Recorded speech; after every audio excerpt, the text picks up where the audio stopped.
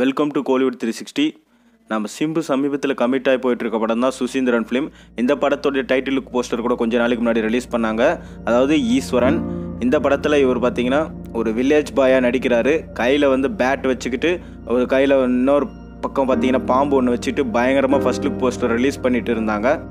இந்த போஸ்டருமே பார்த்தீங்கன்னா பயங்கரமான வைரலில் தான் போயிட்டு இருந்துச்சுன்னே சொல்லலாம்.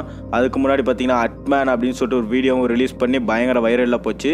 இதுக்கப்புறம் பார்த்தீங்கன்னா இவர் மறைமுகமாக வச்சுட்டு இருந்த இவருடைய ஸ்டில்ஸ் அதாவது உடம்பு எடையை குறைச்சதுக்கு அப்புறமா ரிலீஸ் பண்ண ஸ்டில்ஸ் மொத்தத்தையும் ரிலீஸ் பண்ணியிருந்தாங்க.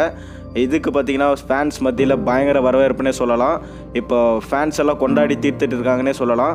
இப் நமக்கு கிடைச்ச லேட்டஸ்ட் அப்டேட் என்னன்னு பார்த்தீங்கன்னா இந்த படம் பார்த்தீங்கன்னா பொங்கலுக்கு தான் ரிலீஸ் ஆக போகுது. அதுக்கு முன்னாடி இந்த படத்துடைய டீசர் என்னைக்கு ரிலீஸ் ஆகுது அப்படின்ற ஒரு தகவல் தான் நமக்கு கிடச்சிருக்கு. நம்ம சிம்பு எஸ்டிஆர் சுசீந்திரன் படத்தில் வந்து கிராமத்து பையன் நடிச்சிட்டு இருக்காரு. இந்த படத்துடைய டீசர் பார்த்தீங்கன்னா தீபாவளிக்கு ரிலீஸ் ஆக போகுது. அதாவது நவம்பர் 14 ரிலீஸ் பண்ண போகிறாங்களாம் இது இந்த விஷயத்தை கேள்விப்பட்டது ரசிகர்கள்லாம் ரொம்ப உற்சாகமாயிட்டாங்க. ஏன்னா பார்த்தீங்கன்னா கோவிலுக்கு அப்புறம் திருப்பி இந்த படத்தில் தான் வந்து அவர் வில்லேஜ் பாயாக நடிக்கிறாரு. நிச்சயமாக இந்த படம் ஒரு கம்பேக்காக இருக்கும் அப்படின்னு சொல்லிட்டு எல்லார் பக்க எல்லா தரப்பிலிருந்து எதிர்பார்க்கப்படுது. இன்னுமே பார்த்தீங்கன்னா சிம்போட ரசிகர்களான சினி ஃபீல்டில் இருக்கிறவங்களே பார்த்தீங்கன்னா ரொம்ப பெரிய எதிர்பார்த்துட்டு தான் இருக்காங்க.